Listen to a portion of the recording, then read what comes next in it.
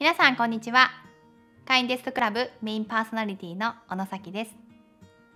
赤ちゃんが5から6ヶ月になってくると離乳食の始め時と言われます。と言っても何を食べさせたらいいの？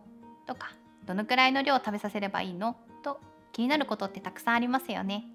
今回は離乳食を開始した最初の1ヶ月間についてカレンダーにしたイメージで解説していきます。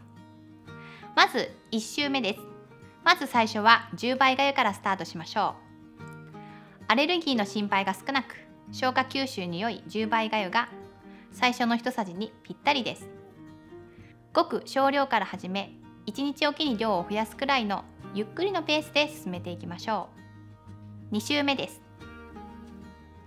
10倍がゆに慣れて安定して食べられるようになってきたら次はお野菜を足してみましょう。最初は香りや味に癖のないかぼちゃや人参さつまいもなどがおすすめです。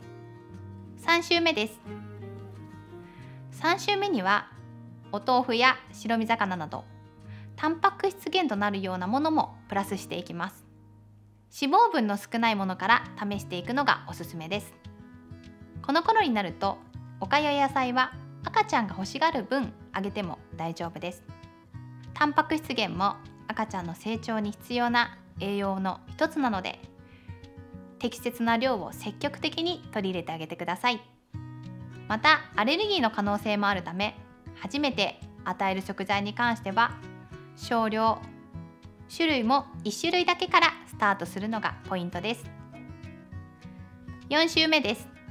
4週目にはエネルギー源であるお米とビタミンミネラル源であるお野菜タンパク質源であるお豆腐や白身魚の3つの栄養素に慣れていく期間です。少しずつ量や種類を増やしていきましょう。野菜に関しては2種類あげるなど全体的な量が増えていきます。この頃量が多くてたくさん食べれないなどがありましたら2回食にするのもポイントです。1回目では1日の70%程度の量2回目では残りの30%程度の量に分けてだんだん2回目の食事の量を増やしていってあげるのが良いでしょう。量が増えてくると一緒に複数の栄養素が取れるようになってきます。人参とお豆腐のおかゆトマトと鯛のとろとろ煮などレシピをいろいろ試せるようになってきます。だんだん食卓にも彩りが増えてきますので赤ちゃんと一緒に食事を楽しめる時は大人も食卓に着くなどして赤ちゃんと楽しく食事ができるようになる工夫ができるといいですね。ここまで動画をご覧いただきありがとうございます。赤ちゃんが食べる量には個性があります。必ずしも離乳食のカレンダー通りに進まなくても必要以上に不安にならないでください。あくまで参考程度にまずは赤ちゃんが食べることに慣れていくことが大事です。少しずつ赤ちゃん自身のペースで進めていくことを意識してみてください。最後まで動画をご覧いただきありがとうございました。動画がいいなと思いましたら是非チャンネル登録高評価をお願いします。